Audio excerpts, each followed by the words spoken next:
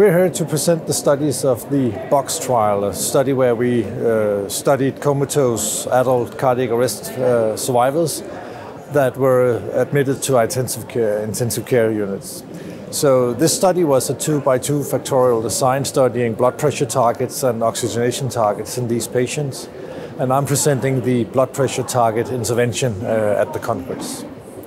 So we studied nearly 800 patients that were included in the trial in a comatose state. They all underwent temperature management uh, according to guidelines.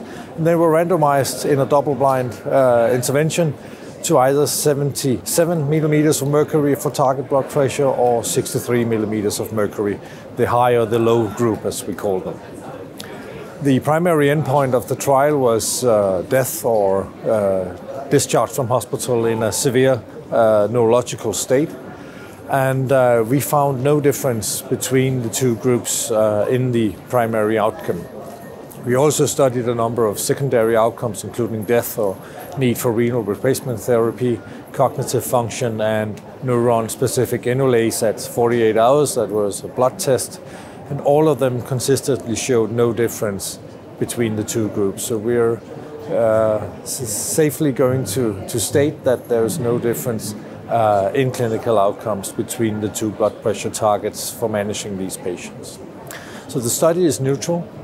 And what that means to our practice is probably that we will be uh, targeting the low uh, blood pressure target.